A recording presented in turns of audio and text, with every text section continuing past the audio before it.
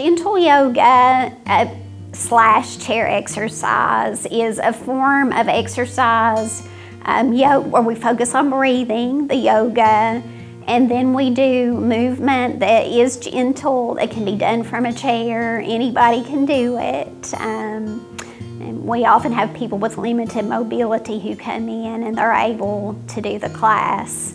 And you really get all the benefits of yoga because we focus on breathing. Like a gentle yoga is just a way, as I said, for anyone to access it, and the benefits are many.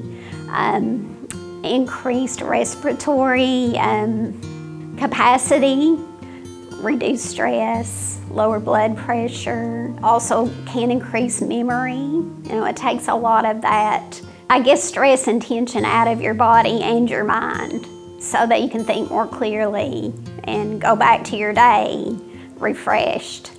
We have a gentle yoga here at the library every Monday, unless it's a holiday, at 1 o'clock. Um, it lasts about 45 minutes.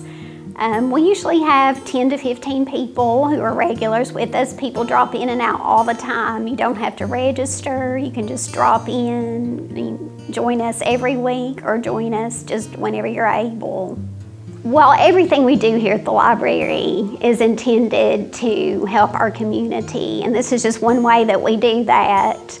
Um, I'm really uh, proud to be part of this library and to serve the community.